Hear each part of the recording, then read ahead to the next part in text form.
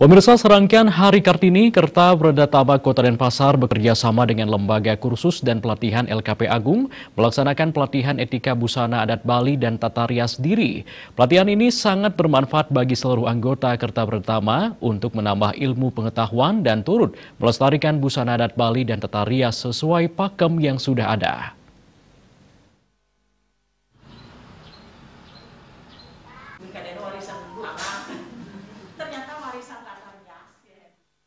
LKP Agung yang memiliki moto bahagia dalam pengabdian senantiasa memberikan sosialisasi atau pelatihan ke seluruh pelosok Bali untuk melestarikan pakem busana adat dan tata rias Bali.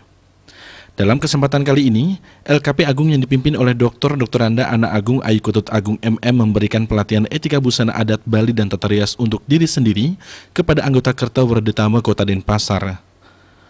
Pelatihan yang diberikan antara lain etika busana adat Bali yang baik dan benar, pusung tagal, tengkuluk lelunakan, dan tata rias untuk diri sendiri. Ketua Kerto Werdetama Kota Denpasar Loh Gede Sawitri menyampaikan, pelatihan ini memiliki tujuan agar anggota Kerto Werdetama yang sudah usia lanjut dapat turut melestarikan tata rias dan busana adat Bali sesuai pakem yang sudah ada. Di samping itu, pelatihan ini dapat memberikan pengetahuan yang lebih luas lagi bagi seluruh anggota Kerto Werdetama Kota Denpasar.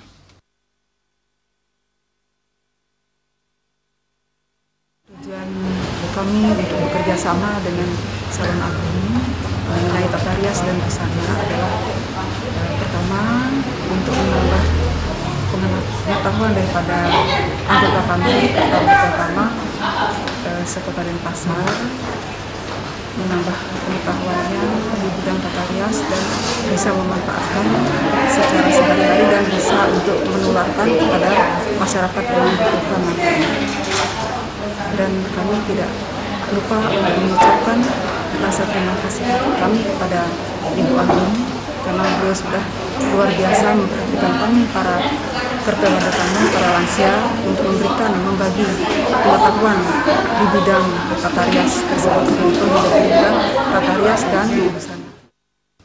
Sementara itu, Ketua PWRI Kota Denpasar Imade Selamat menyatakan, dengan pelatihan kali ini diharapkan para anggota Kerta Werdetama Kota Denpasar dapat memotivasi dan berbagi ilmu kepada lingkungannya.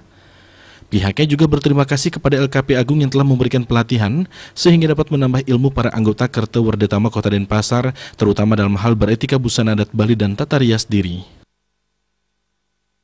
Jadi dengan adanya pelatihan kami harapkan mereka para ibu-ibu melihat dan dilatih supaya bisa melanjutkan memberi motivasi kepada lingkungannya baik di desa, di kecamatan atau di tempat lain karena tujuan daripada PBI Denpasar itulah membagi pengetahuan pengalaman bagi seorang mantan.